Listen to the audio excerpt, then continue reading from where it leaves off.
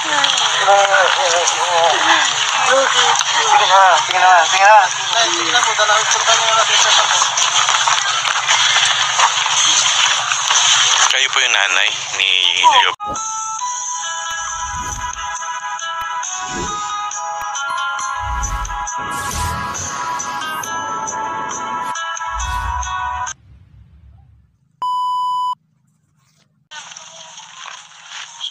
Kapatid ni Leobert.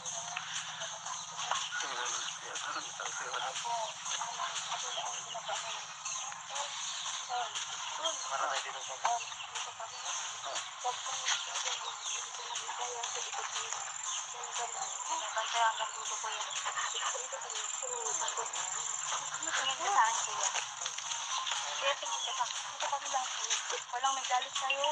Ha? Walang may galit, walang may ano. Sige, mas kilala ka namin. Ha? Tumingin ka sa amin.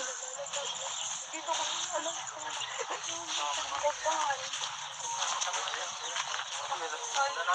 Huwag mo, ibigyan mo ka namin kayo. Ha? Ginagawa namin.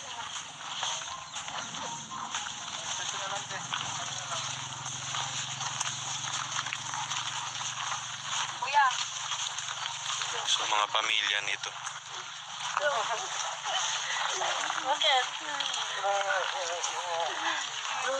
Sige na, sige na, sige na. Sige na po, dala, punta mo natin sa sako.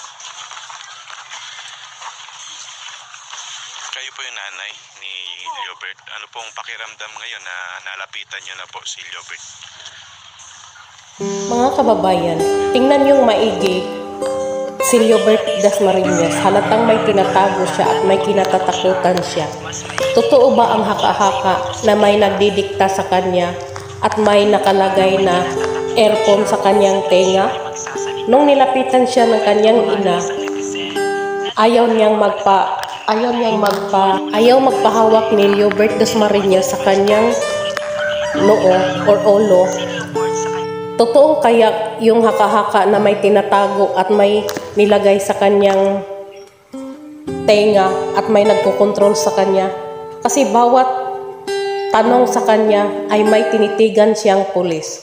Kaya opinion lang ito or reaction lang ito.